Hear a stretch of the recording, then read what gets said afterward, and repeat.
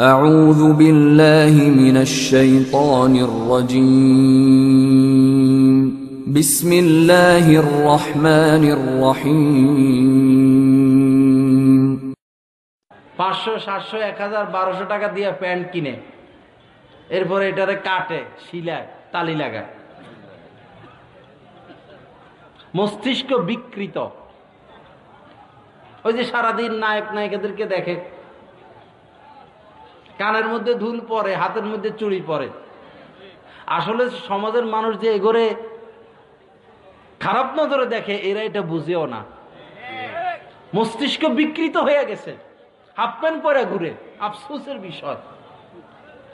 একটা ছেলে, একটা যুবক ছেলে, সে হাফ প্যান্ট পরে। তার লজ্জা কতটা নষ্ট হইলে, তার স্বভাব চরিত্র কত খারাপ হইলে, সে মানুষ হইয়াও কুকুরের আচরণ করতে পারে। কুকুরকে আল্লাহ পোশাক দেয় নাই। সে জানোয়ার, তার বিবেক নাই। আরে তুমি তো মানুষ, আশরাফুল মাখলুকাত। তুমি তো সৃষ্টির সেরা জীব। তোমার মধ্যে তো আল্লাহ পাক লজ্জা দিয়েছেন।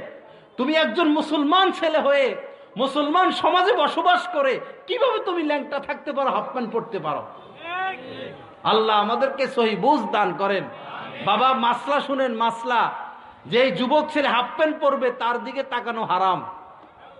তার দিকে তাকানো কবিরা গুণা আপন মাও যদি শর্ট প্যান্ট পরনেওয়ালা ছেলের দিকে দশ বার তাকায়, আপন মায়ের দশটা কবিরা গুণা হবে।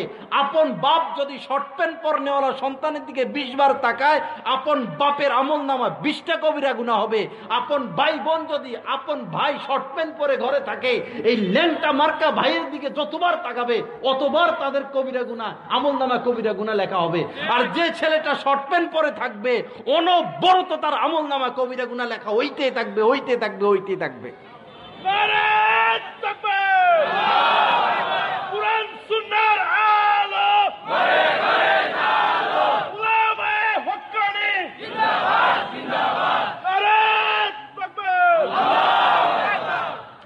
এটার দ্বারা ফায়দা নাই। জজবা এটার পরে শেষ হয়ে যায়। আল্লাহ রাসুলের আল্লাহ রাসুলও তো বয়ান করতেন।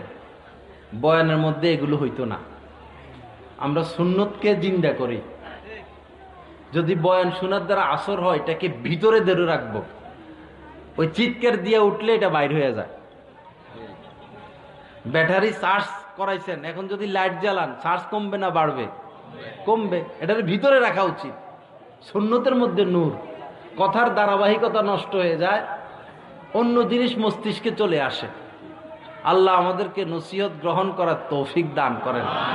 হক্কানি ওলামা একরাম বয়ানের মধ্যে ঠিক বলতেও নিষেধ করেন। বা নিরিবিলি শোনা। রাসুল কথা বলতেন, সাহাবারা ঠিক বলতেন না। চুপ করে শুনতেন, হৃদয় অঙ্গম করতেন। যা শুনতেন তা বাস্তবায়ন করার ফিকির করতেন। আমাদের মধ্যে যেন বাস্তবায়ন আসে, বাস্তবতা আসে। আল্লাহ আমাদেরকে তৌফিক দান করেন। তো এই যে শর্ট প্যান্ট পরা, আহা! আমাদের গাছতলা ঘাটে আলহামদুলিল্লাহ এখন শর্ট প্যান্ট পরনেওয়ালা কেউ নাই। একজনও নাই। কিন্তু আমি যখন আসছিলাম, এদিকেও শর্ট প্যান্ট হেদিকেও শর্ট প্যান্ট, ওইদিকেও শর্ট প্যান্ট, কি যে অবস্থা। এক তো মহিলাদের থেকে নজর হেফাজত করতে হয়, না হলে কবিরা গুণা। এখন এমন সমাজে আসছি, ওই সব ল্যাংটা, এখন হেদের থেকেও তো নজর হেফাজত করতে হয়। তো যারা শর্ট প্যান্ট পরে এদেরকে আমরা বুঝাবো যে বেটা তুমি নির্লজ্জ হইলে কেন? তুমি বেহায়া হইলে কেন? তোমার লজ্জা গেল কোথায়? কেন তুমি ল্যাংটা থাকবা? তোমার কিসের অভাব? তুমি তো মুসলমান তোমার তো কবরে যাইতে হবে। আল্লাহ আমাদেরকে সই বুঝ দান করেন। চুয়ান্ন মিনিট পর ফেসবুক সম্পর্কে বলেন হ্যাঁ। যুবক বলতে কি সর্বশ্রেণীর অবস্থায় ধর্মের দিক থেকে, ইমানের দিক থেকে, তাকওয়ার দিক থেকে বিপর্যস্ত। বিপর্যস্ত। যত বেশি আমরা ফেসবুকে আসক্ত হব, যত বেশি আমরা নেটে আসক্ত হব, তত বেশি আমরা আল্লাহর থেকে দূরে সরে যাব। ভাই, হাজার হাজার ওলামা ইকরামের অভিজ্ঞতা যারা ফেসবুক নিয়ে পড়ে থাকবে, তারা কোনোদিন তাকুয়ার উপর টিকে থাকতে পারবে না। তাদের চেহারায় নূর থাকবে না। তাদের কথায় আসর থাকবে না। তাদের দ্বারা সমাজের মানুষ উপকৃত হবে না। ওই যুবক যে ফেসবুক নিয়ে পড়ে থাকে, সেই যুবক তার ভবিষ্যতের দ্বারা তার মা মা বাবাকে খুশি করাইতে পারবে না। ওই যুবকের দ্বারা তার সমাজবাসী, তার দেশবাসী কোনোদিন উপকৃত হইতে পারবে না। ফেসবুকের ব্যাপারে জাতীয় সংঘ থেকেই তারা রিপোর্ট পেশ করেছে, ফেসবুক মানি হচ্ছে একটা দানব। আগের জামানায় দানব বাহির হইতো সমুদ্র থেকে, জঙ্গল থেকে। দানব আইসা এলাকা, এলাকাকে তসনস করে ফেলতো দুলিশাত করে ফেলতো। জাতীয় সংঘ এই রিপোর্ট পেশ করেছে এই ফেসবুক একটা দানব। যেই সমাজের ছেলেরা, যেই দেশের ছেলেরা, যেই ঘরের ছেলে মেয়েরা এই দানব গ্রহণ করবে, ওই সমাজও ধ্বংস হবে, ওই ঘরও ধ্বংস হবে, ওই দেশও ধ্বংস হয়ে যাবে। আসন নসিহত গ্রহণ করি। যেই বাবারা, যে ভাইয়েরা, ছয় মাস ধরে ফেসবুক চালাও। তিন মাস ধরে ফেসবুক চালাও। দুই বছর, তিন বছর ধরে ফেসবুক চালাও। তুমি একটু বাবা, যোগ বিয়োগ করো। আমার কথা কষ্ট পাইও না, যোগ বিয়োগ করো। তুমি পাইলা কি আর তোমার থেকে গেল কি? তোমার অর্জনটা কি হলো? আর তোমার ক্ষতিটা কি হলো? যদি তুমি যোগ বিয়োগ করো, তো তুমি দেখবা তোমার জীবন থেকে বহু ঘণ্টা নষ্ট হয়ে গেছে। বহু সময় নষ্ট হয়ে গেছে যে সময়গুলো তুমি কোনো কাজে লাগাইতে পারো নাই। তুমি যদি চিন্তা করো ফেসবুক চালানোর আগে ইসলামের প্রতি তোমার যে যে আগ্রহ ছিল, নামাজের প্রতি যে আগ্রহ ছিল, তোমার মন মানসিকতার মধ্যে যে স্বচ্ছতা ছিল, তোমার পিতা মাতাকে আনুগত্য করার মতো যেই তৌফিক তোমার ছিল, এই ফেসবুক ছয় মাস চালানোর পরে সেই তৌফিক তুমি হারিয়ে ফেলেছ। এখন তুমি অবাধ্য। তোমার মা ভাত রেডি করে বলতে থাকে, বাবা, ভাত খাইতে আয়, ভাত খাইতে আয়। তুমি তো ফেসবুক নিয়ে ব্যস্ত, তুমি তো তোমার মায়ের সেই নির্দেশের অবাধ্যতা করতেছ, তোমার মাকে কষ্ট দিচ্ছ, এই ফেসবুকের কারণে তোমার বাবাকে কষ্ট দিচ্ছ, এই ফেসবুকের কারণে তোমার পড়ালেখার ক্ষতি হচ্ছে, এই ফেসবুকের কারণে তুমি আবাদত থেকে বিমুখ হচ্ছ, এই ফেসবুকের কারণে তোমার চরিত্রের, চারিত্রিক অবস্থা আল্লাহর কসম তুমি মেপে দেখো ফেসবুক চালানোর আগে তুমি যেই পরিমাণ পাপে লিপ্ত হইতা ফেসবুক চালানোর পর থেকে তুমি কি পাপ কর্মে পাপ কর্মে আরও পাপ কর্ম আরও বেড়ে গেল নাকি পাপ কর্ম আরও কমে গেল? তুমি নিজের বিচার নিজে করো। আল্লাহ আমাদেরকে নসিহত গ্রহণ করার তৌফিক দান করেন। গরম পানি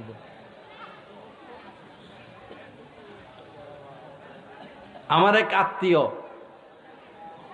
অ্যাপেন্ডিসাইডের ব্যথা উঠছে। অপারেশন হবে হাসপাতালে শোয়া। ডাক্তার আসতেছে না। কল করা হচ্ছে ডাক্তার পথে। তার চিৎকার, যে ব্যথা। তো তারই এক আত্মীয়, আরও কাছের আত্মীয়। হাসপাতালে সিটে বসা, বয়স পঞ্চাশের কাছাকাছি হবে।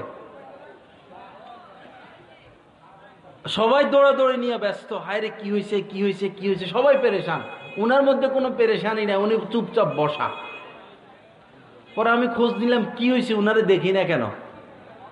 যায় দেখলাম উনি ঘামাইতেছে। মুরব্বী মানুষ ঘামাইতেছে। পরে তাকাইয়া দেখি ব্যস্ত আছে। এটা নিয়ে ব্যস্ত। আত্মীয় মারা যাইতেছে। চিৎকার, হাসপাতাল কাঁপতেছে। ডাক্তাররা পেরেশান, রুগীরা পেরেশান। মানুষ তাকে দেখতে আসতেছে আর নিজের আত্মীয় মোবাইল নিয়ে ব্যস্ত। আসন নসিহত গ্রহণ করি, মানুষ হই। আমি পিতা, আমি যদি আমার সন্তানের সামনে ঘন্টাকে ঘণ্টা মোবাইল চালাই, বাবা, আমি তো আমার সন্তানটাকে নষ্ট করলাম। আমি শিক্ষক, আমি ছাত্রের সামনে বসে বসে যদি ঘন্টাকে ঘণ্টা মোবাইল চালাই, আমি ছাত্রকে কি শিক্ষা দিলাম? আমি বড় ভাই, আমার কানের মধ্যে সবসময় হেডফোন। চব্বিশ ঘণ্টার মধ্যে অধিকাংশই আমি মোবাইল নিয়ে ব্যস্ত। আমার ছোট ভাইকে আমি কি শিখাইলাম? আসুন বিষয়টার গুরুত্ব বুঝি। বিষয়টার গুরুত্ব বুঝি। যদি ফিরে না আসি, কেয়ামত লাগবে না, এটাই একটা কেয়ামত। আর কোনো কিয়ামতের আলামত লাগবে না, এটাই একটা কিয়ামতের আলামত। আমি এটা অস্বীকার করি না যে ফেসবুকের মধ্যে উপকার নাই, আছে। ফেসবুকের মধ্যে উপকার আছে, অবশ্যই আছে। কিন্তু উপকারের চাইতে ক্ষতিটা শত শত গুণ বেশি। উপকার আছে, ক্ষতিটা বেশি। মুফতি তাকে ওসমানী সাহেব, যিনি বিশ্বের সর্বশ্রেষ্ঠ মুফতি, যিনি প্রথম মুফতি, প্রধান মুফতি সারা বিশ্বের মধ্যে, তিনি ফতুয়া দিয়েছেন। যারা টাচ মোবাইল ব্যবহার করে গুণা থেকে বাঁচতে পারে না, যারা টাচ মোবাইল ব্যবহার করে গুণা থেকে বাঁচতে পারে না, তাদের জন্য টাচ মোবাইল ব্যবহার করা হারাম। আর যারা টাচ মোবাইল ব্যবহার করে নেট ব্যবহার করে, নিজেকে সেফ রাখতে পারে, নজর হেফাজত করতে পারে গুণা থেকে বাঁচতে পারে, তার জন্য হালাল। এখন আপনি নিজের এই ফতুয়াটা নিজের উপর বাস্তবায়ন করুন। আপনি নেটের নেট ব্যবহারের দ্বারা আপনি গুণা মুক্ত কিনা? রাতের গভীর, একা আপনি রুমে দরজাটা বন্ধ, কেউ নাই। নেটটা চালু করলেন, ইউটিউবে ঢুকলেন, ফেসবুকে ঢুকলেন, ভাই কেউ না দেখুক, তিনি দেখতেছেন। আনা আসমা ও আর, আল্লাহ কোরআনে বলেছেন, আমি সব শুনি, সব দেখি। এমন কোন গোপন বিষয় নাই যেটা আমি দেখি না। আল্লাহ আপনার দিকে তাকাইয়া রয়েছেন এখন। আপনি নেটে ঢুকেছেন, আল্লাহ এখন আপনার দিকে তাকিয়ে আছে। আপনি আল্লাহর ভয়ে গুণা থেকে বাঁচেন কিনা? দুনিয়ার কেউ না দেখুক। আল্লাহ দেখেন।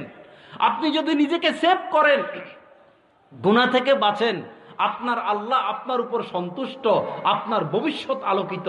আর আপনি যদি গুণে লিপ্ত হন, আপনার আল্লাহ আপনার উপর অসন্তুষ্ট, আপনার ভবিষ্যৎ অন্ধকার। আল্লাহ আমাদেরকে নসিহত গ্রহণ করার তৌফিক দান করেন।